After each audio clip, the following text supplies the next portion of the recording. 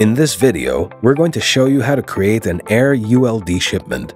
Let's start by selecting Shipments from the toolbar on the side of the page. From there, click on New Shipments at the top of the page. This will open a separate page where you can fill in the shipment's details. First, select the method of transport from the Transport Mode dropdown. In this case, let's go with Air, Air Freight.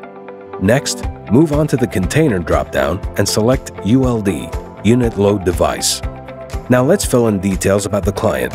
For this example, select IND HYD Client from the Client dropdown.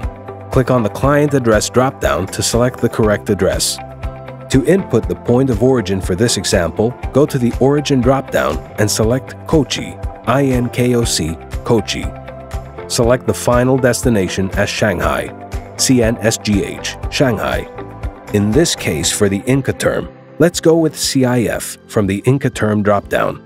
Go to the Service Mode dropdown and select D2D, door to door.